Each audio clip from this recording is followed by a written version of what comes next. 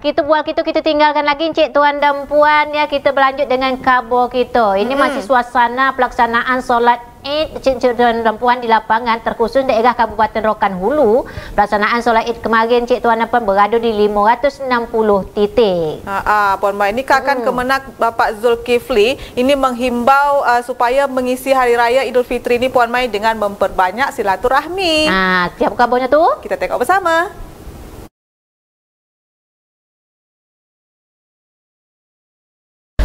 Pelaksanaan solat Idul Fitri 1445 Hijriah di Kabupaten Rokan Hulu pada Rabu pagi berjalan lancar, aman dan tertib.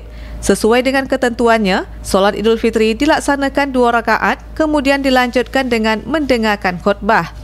Kepala Kantor Kementerian Agama Kabupaten Rokan Hulu, Zulkifli Syarif, menyampaikan solat Idul Fitri tahun ini berlangsung di 560 titik yang tersebar di 16 kecamatan Serokan Hulu, yang terdiri dari 37 titik di lapangan dan 523 titik di masjid. Di Rokan Hulu ini uh, jumlahnya ini oh, yang ada di lapangan sebanyak 37 titik terdahulu kemudian ada 523 yang dilakukan di masjid musola di Aratan Dulu.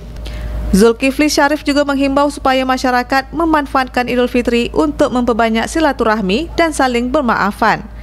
Dari Rokan Hulu, Hana Asmita mengabarkan.